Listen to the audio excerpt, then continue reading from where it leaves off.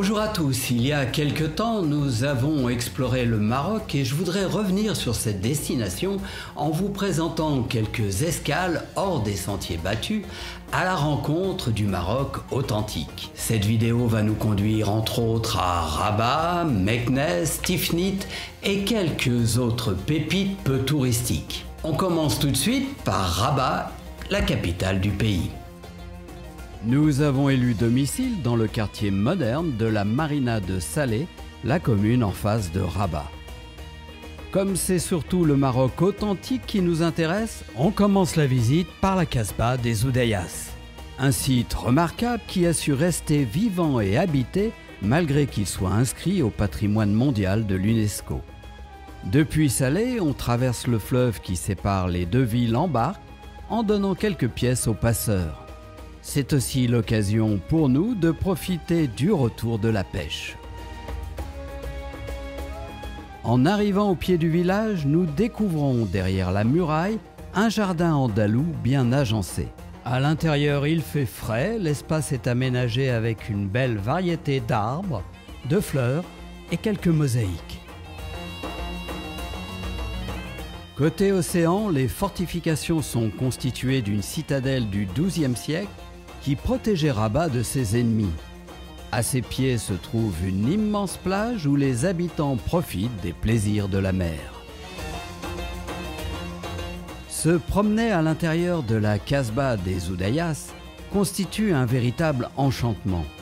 Avec ses ruelles et ses maisons peintes en bleu et blanc, on se croirait dans une petite île grecque des Cyclades. Notez qu'il n'y a pas de fenêtre donnant sur la rue, car dans la tradition arabe, la discrétion est de rigueur et les ouvertures sont tournées vers un patio intérieur.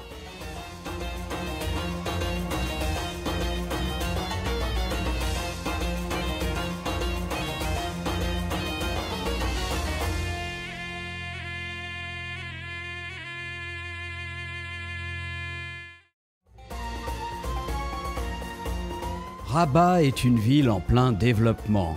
Elle bénéficie de quelques vestiges d'un autre temps, comme les remparts de la Médina. À l'intérieur se trouve le souk, avec ses artisans, ses bruits et ses parfums. Autre visite incontournable à Rabat, le mausolée Mohamed V et la tour Hassan. Nous sommes arrivés au moment de la relève de la garde, véritable instant de tradition royale. Le mausolée est séparé de la tour Hassan par des colonnes, l'endroit est plutôt photogénique.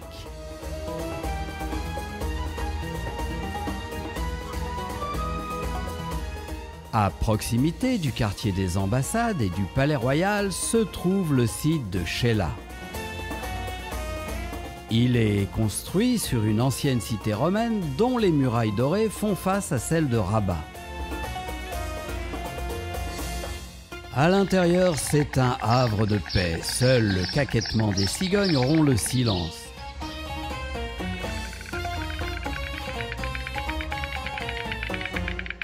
Il faut voir le bassin aux anguilles. On prétend qu'il a le pouvoir de favoriser la fertilité des femmes. Les cigognes donnent à ces ruines un charme fou. Nous avons été particulièrement séduits. C'est notre coup de cœur des visites à Rabat.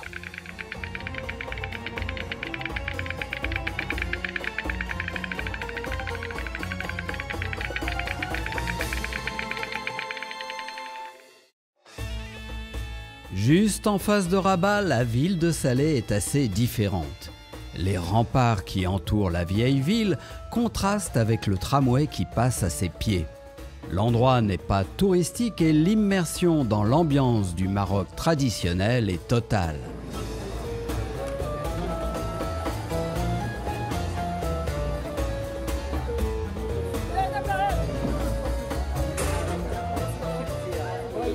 Dans la partie haute de la Casbah, on trouve une grande mosquée dont l'entrée nous est interdite. Nous avons tout de même pu visiter la Médersa, où l'on enseignait le Coran aux enfants en les enfermant dans des cellules pour qu'ils méditent sur les écritures saintes.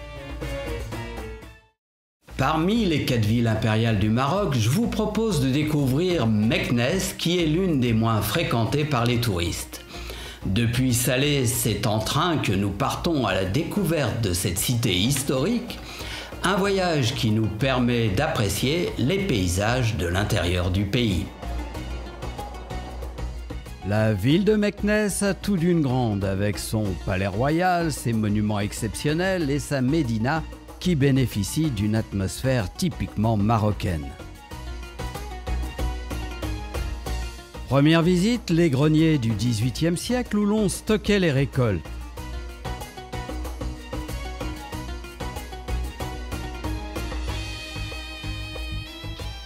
Juste en face se trouve le bassin Soigny, un endroit agréable et paisible pour se poser avant d'aller à la rencontre du centre historique. Nous profitons d'une des calèches joliment décorée pour faire le tour de la ville.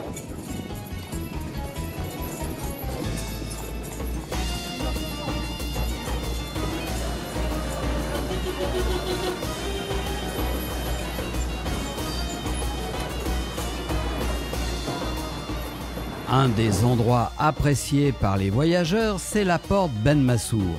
Elle marquait jadis l'entrée du palais impérial, en face, une vaste place regroupe les marchands de poterie multicolores.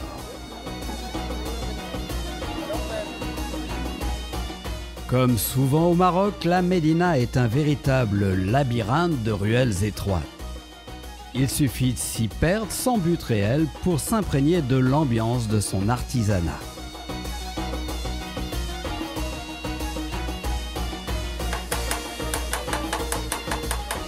Nous avons passé la soirée dans l'un des riads de cette médina, un véritable décor des mille et une nuits.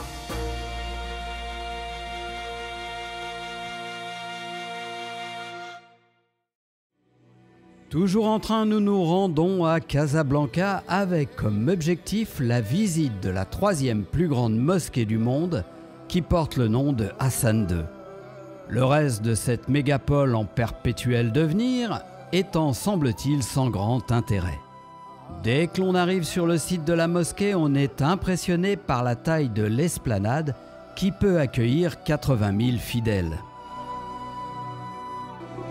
Fait exceptionnel, la visite guidée de l'intérieur est possible.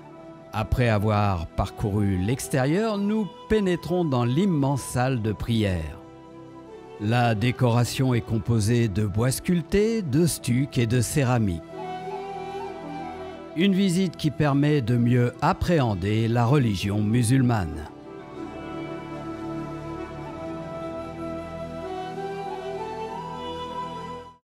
Toujours en direction du sud, les escales suivantes vont nous conduire à El Jadida et à Safi.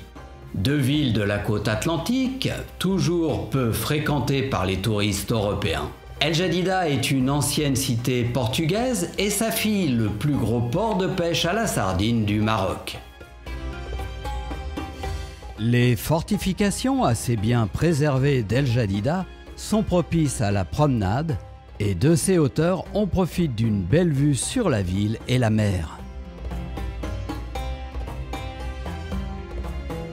Le centre historique était il y a longtemps un quartier portugais et juif prospère.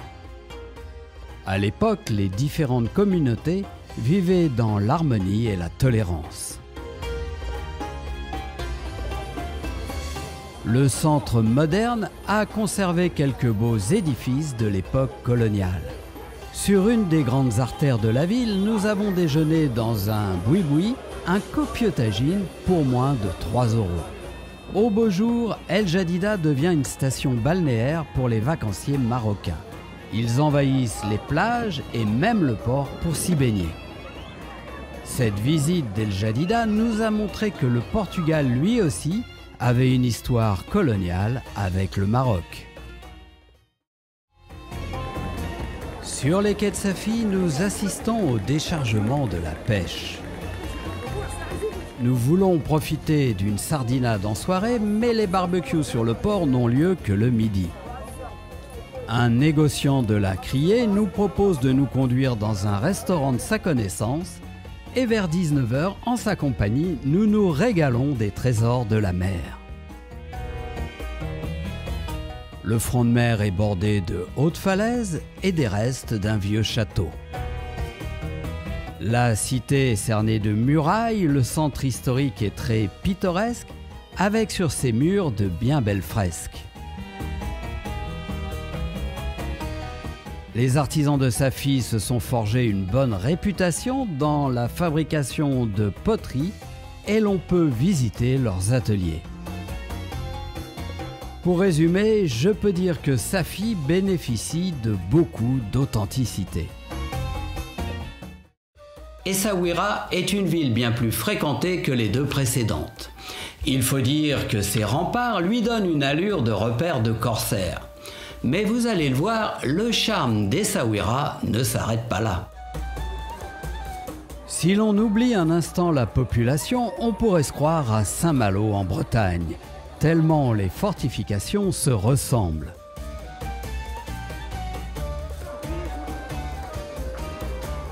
L'atmosphère est incroyable, ça grouille de toutes parts, les pêcheurs vendent en direct et on déjeune en famille ou entre amis à l'ombre des chalutiers. Un peu plus loin, les jeunes considèrent le port un peu comme une piscine et y plongent joyeusement. La promenade le long des remparts est l'un des incontournables des Saouira. C'est l'occasion de faire de jolies photos tout en profitant de la vue sur la ville et la mer. Au cœur de la Médina, on se balade à pied, elle a été classée par l'UNESCO, ce qui a permis de financer quelques belles restaurations. Les boutiques des rues commerçantes proposent beaucoup d'articles pour les touristes. On y trouve tout de même des épices aux vertus un peu particulières. Il reste encore quelques commerces traditionnels où l'on trouve entre autres des figues de Barbarie ou des pâtisseries orientales. Au fil du temps, les artistes des Sawira, influencés dans les années 70 par l'afflux des Occidentaux, ont développé un style naïf bien particulier. On trouve leurs toiles dans les galeries de la ville. Dans les restaurants, les produits de la mer sont très présents et c'est un vrai plaisir de profiter d'un plat de poisson grillé au rythme des musiciens de rue.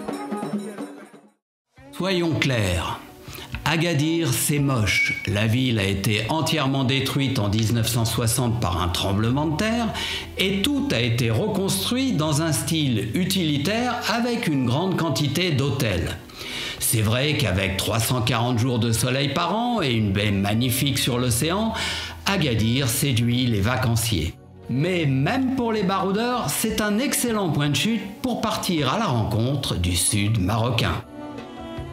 À Agadir, les touristes sont omniprésents et nous allons rapidement fuir cette ambiance de station balnéaire. Malgré tout, cette ville restera pour nous une rencontre exceptionnelle avec Mohamed, un chauffeur de taxi qui nous a tout simplement invités à manger chez lui un moment de partage inoubliable. Grâce à lui, nous avons pu nous mêler sans difficulté aux locaux pour la visite de marchés traditionnels où nous constatons que la terre marocaine est riche et produit de beaux légumes et de beaux fruits.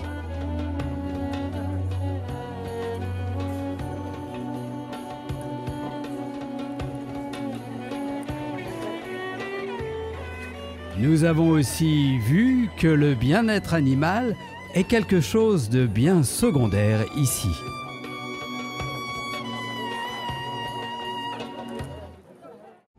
Le jour suivant, nous partons en direction du sud. En chemin, nous faisons des rencontres des paysans, comme ce transport scolaire ou ces étonnantes chèvres qui grimpent dans les argandiers.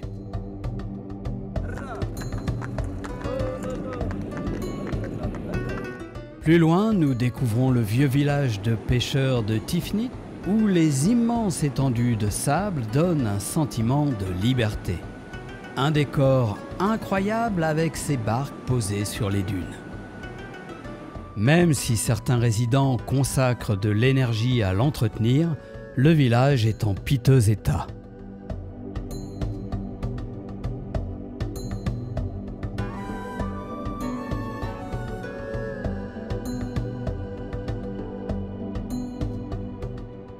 Ensuite, nous nous enfonçons dans l'intérieur du pays à travers des zones arides aux villages abandonnés. Nous trouvons également des oasis où les cours d'eau sont bordés de palmiers et je tente maladroitement de cueillir des dattes.